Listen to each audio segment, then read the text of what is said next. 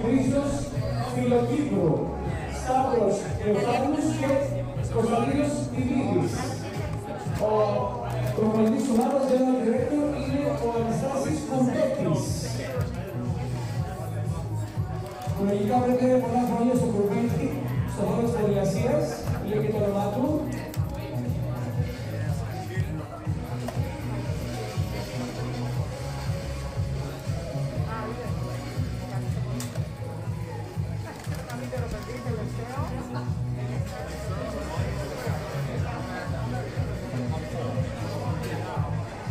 Alexi Roberti Carlos Werner Matson